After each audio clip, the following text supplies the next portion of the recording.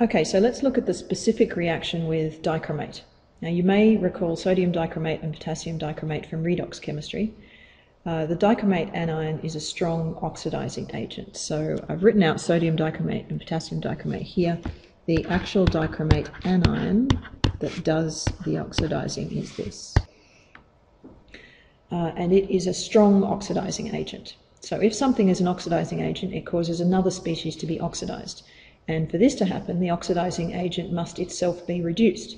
So in the case of dichromate, it's the chromium atom that is reduced. And uh, this here is the half reaction for the reduction of dichromate. There are several important things to notice here. Firstly, uh, here are the electrons that are accepted by the dichromate. So remember, it's an oxidizing reagent, it's oxidizing something else. It must itself be reduced. If something is reduced, it gains electrons. So those six electrons are gained by the chromium. So chromium in dichromate has an oxidation state of plus 6. So we've got oxygen, 7 oxygens, minus 2 each, so that's a total of minus 14. Overall, our ion has a charge of minus 2, so I need plus 12 from the chromiums to balance it out, so that each one is plus 6. Uh, chromium has a, an oxidation state of plus 6. But on the other side, we've got chromium 3 plus, it has an oxidation state of plus 3. So the chromium is going from plus 6 to plus 3, so it is being reduced. Uh, the second thing is that this half reaction cannot occur without hydrogen ions. Uh, this means that if you want to oxidize an organic molecule with dichromate, you need to add acid. Otherwise, the dichromate uh, reduction half reaction cannot happen. And if the reduction half reaction can't happen, then the oxidation can't either. Um, thirdly, the dichromate ion is a yellow-orange colour, and in contrast, the chromium ion is a greenish colour, sort of blue-green. And this colour change therefore gives you a good indicator of whether your reaction has occurred. And this has made the dichromate oxidation um, a really useful reaction in several contexts, as you'll see in a second. So let's see how this works with an actual organic molecule. So we're going to take ethanol as an example. Um, ethanol is a primary alcohol, and as we said before, when a primary alcohol is oxidized, it turns first into an aldehyde and then into a carboxylic acid. So this is what the half reaction for the oxidation would look like. So here's the reduction half reaction, and this is the oxidation. In this particular half reaction, we're assuming that it goes all the way to the carboxylic acid in one step. Okay, we're omitting the aldehyde from this, but you could equally write a half reaction for the alcohol to the aldehyde and then the aldehyde to the acid. We're just assuming that it goes all in one go.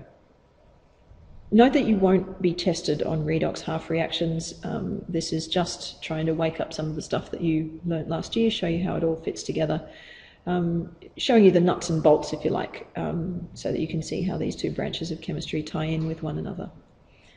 Uh, now, to find the complete reaction, as opposed to just the half reactions, we add the two half reactions together.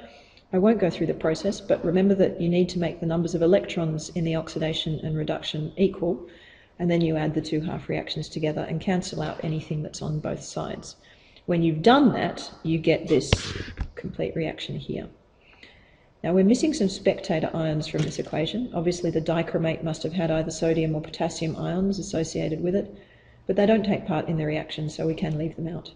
Similarly, um, the hydrogen ions must have been part of an acid, but we're not showing the counter ion of the acid, whether it was chloride from hydrochloric acid or sulfate from sulfuric acid. We don't need it in this reaction. Um, so just to go over the complete reaction, we've got ethanol, it reacts with dichromate in the presence of acid, and the result, if it goes all the way to the carboxylic acid, is ethanoic acid, and chromium ions, which are green, and some water is produced. All right, now why is this reaction so useful? Well, from a chemist's point of view, it's a very convenient way of producing aldehydes, ketones, and carboxylic acids. But from the point of view of the police, it's the reaction in the original breathalyzer tests. Ethanol is, of course, the alcohol in wine, beer, and spirits. When you've drunk a lot, there's a certain amount of ethanol in your breath. In the original breathalyzer tests, acidified uh, crystals of dichromate were stuck onto silica gel particles, and when a driver breathed into the tube, any alcohol in the breath would cause a colour change um, when the dichromate reacted with ethanol.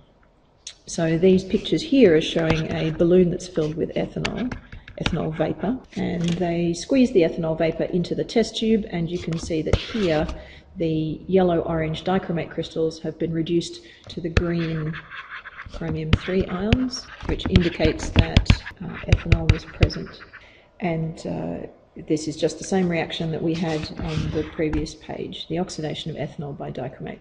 Of course, this works for other alcohols as well, as we've said. This is a, a general class of reactions.